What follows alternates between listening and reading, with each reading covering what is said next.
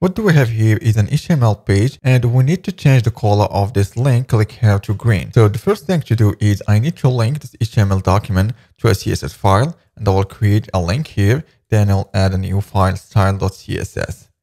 Okay, let's just add the file because it doesn't exist. Okay, we'll go for new file style.css. Now let's just go for the basic terminology on how to just change this link color to green. So the first thing to do from the CSS file is to select the element.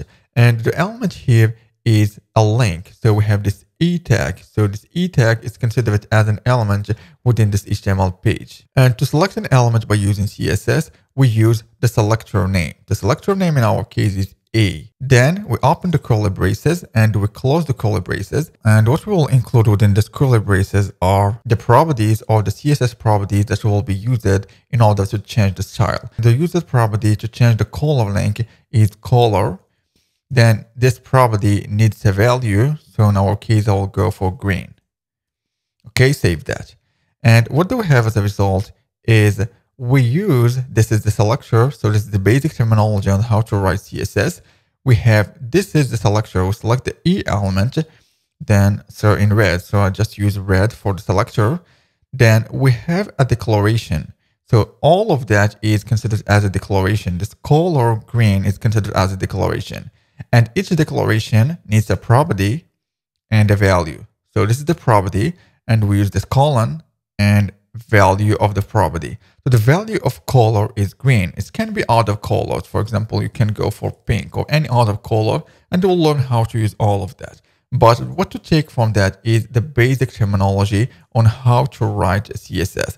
We first select the element then we put the declaration and the declaration includes the property and the value of this property. We have also here two important symbols. The first one is the assignment symbol, which is used to assign a value to this property. So to assign a value green to the property color, we use this assignment right here. And for the other symbol here is the semicolon.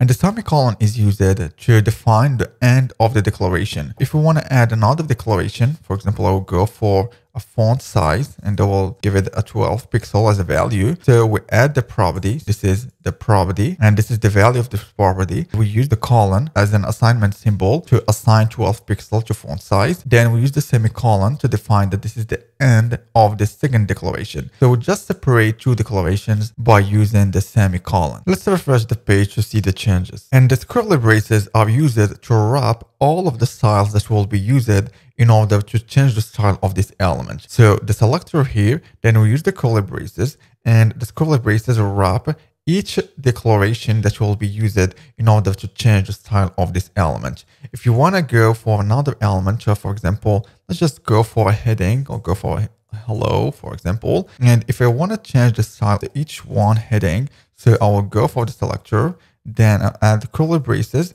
and add a style, for example, color green. I'll go for red. Save that, refresh the page, and I have a heading, hello, which is using the color red. So now I have two elements. The first one is this one, A, and is of the style applied for this E tag. And for the second one, let's just take, use another color. So this tag right here, or this curly braces, will wrap the style that will be used for this specific element h1.